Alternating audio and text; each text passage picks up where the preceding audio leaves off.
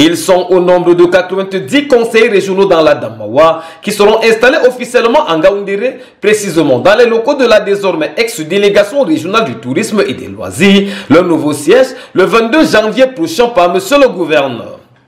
Voici ce qui ressort de la réunion préparatoire et afférente ce lundi 18 janvier dans la salle de conférence du dit gouverneur. Avec un plaisir hein, que je, euh,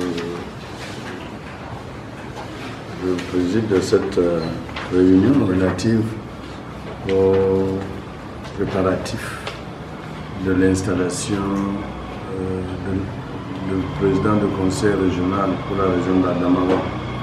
Nous avons reçu des instructions pertinentes de, la hiérarchie à cet effet, notamment la correspondante du ministre développement de la décentralisation du développement local, en date du 4 Lors des échanges, quelques inquiétudes ont été mentionnées par l'assistance.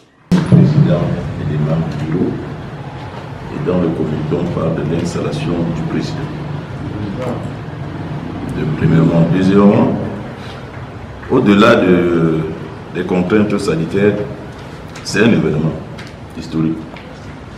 Et ce serait normal de peut-être indiquer que nos conjoints soient admis, admises et qu'au moment de la célébration, qu'ils soient autorisés.